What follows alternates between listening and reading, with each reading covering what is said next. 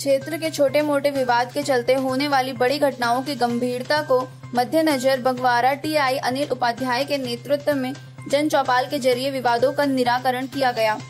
ASP Abhijit Ranjan, ASP Pradeep Sende और एएसओपी कृष्णा शंकर द्विवेदी के निर्देश पर थाना परिषद में संवाद और जन सुनवाई में जमीनी विवाद व अन्य घरेलू विवाद दोनों पक्षों की सहमति का निराकरण किया गया।